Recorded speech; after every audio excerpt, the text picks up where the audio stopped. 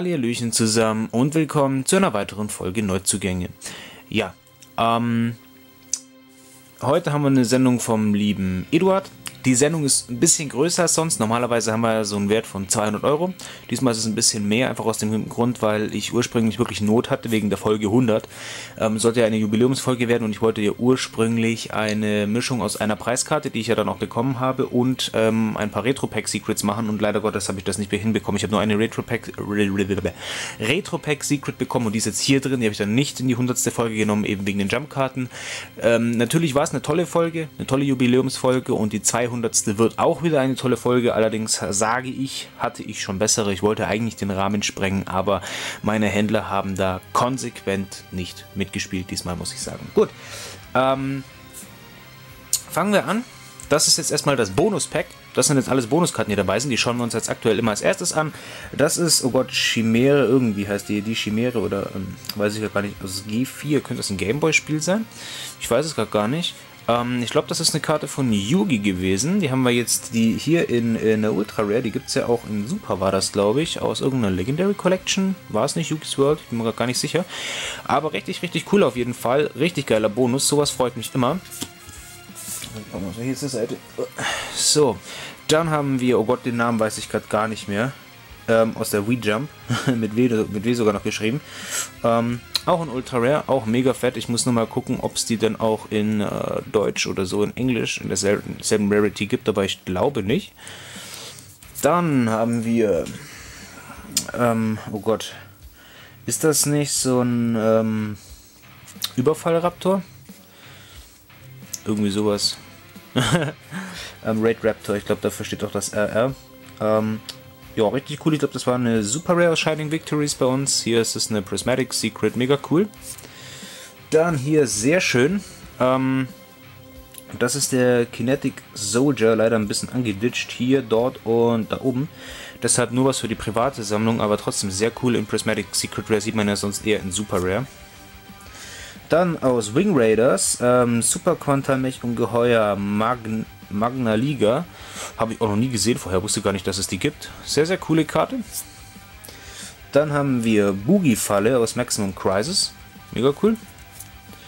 Dann ein Spiral Schläfer. Einen Pendelsturm aus Bosch. Dann einen kinetischen Magier aus Cybernetic Revolution.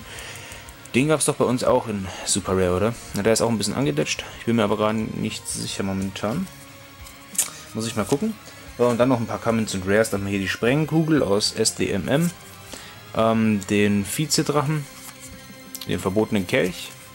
Den nächtlichen Angreifer. Dann haben wir Erzunterweltler Kavallerie. Und Erzunterweltler Riese. Das waren die Bonuskarten. Vielen, vielen lieben Dank dafür, lieber äh, Eduard. Mal wieder ein sehr, sehr schönes Bonuspack. Und jetzt kommen wir zur eigentlichen Sendung. Und hier sind ein paar richtig coole Karten dabei. Zunächst haben wir hier den Nacheffer aus dem Retro-Pack. Da liegt auch noch ein zweiter bei ihm parat für mich. Ähm, das war eben genau das, äh, wo ich, äh, war die einzige Retro-Pack-Secret, die ich ran schaffen konnte.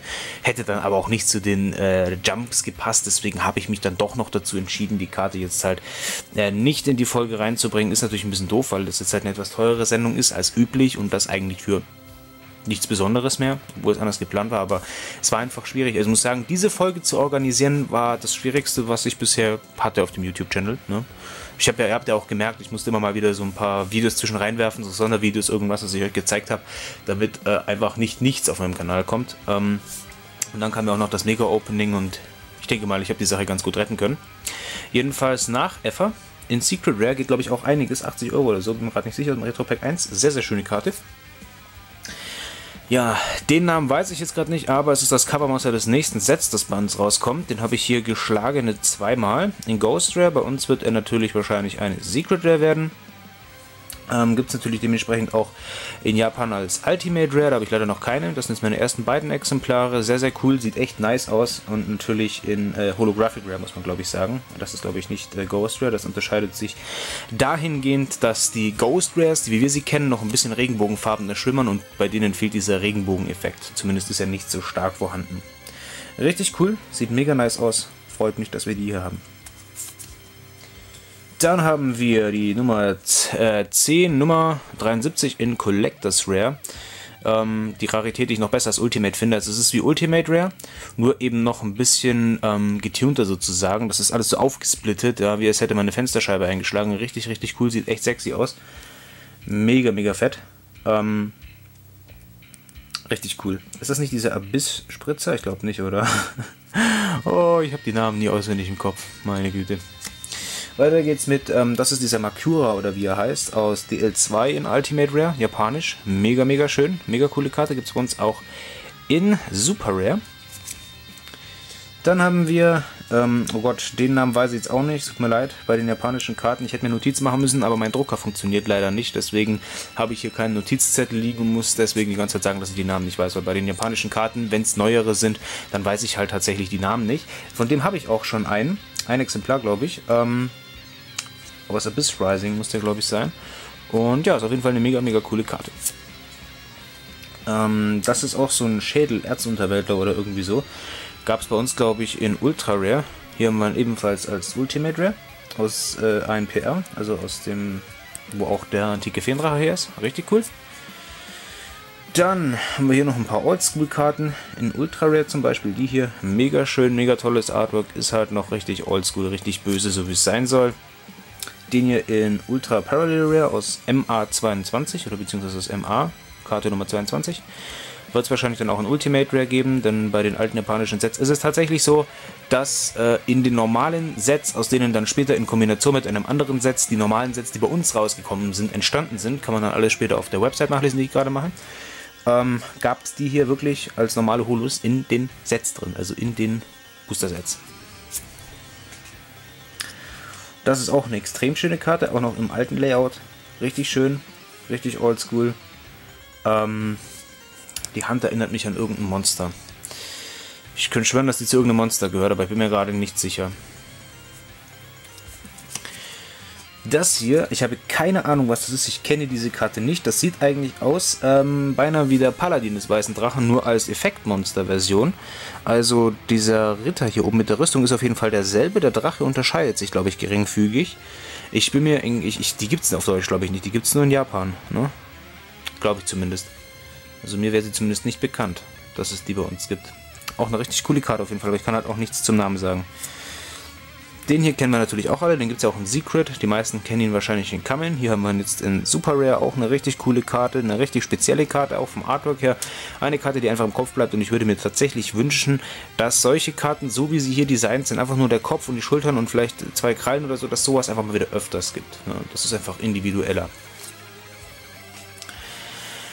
Dann der nette Bube im unzensierten Artwork. Ähm, Don Saluk ähm, hat bei uns äh, zwei Schwerter die Pistolen wurden zensiert, also hier hat er auch tatsächlich zwei ähm, Pistolen in der Hand im unzensierten Artwork.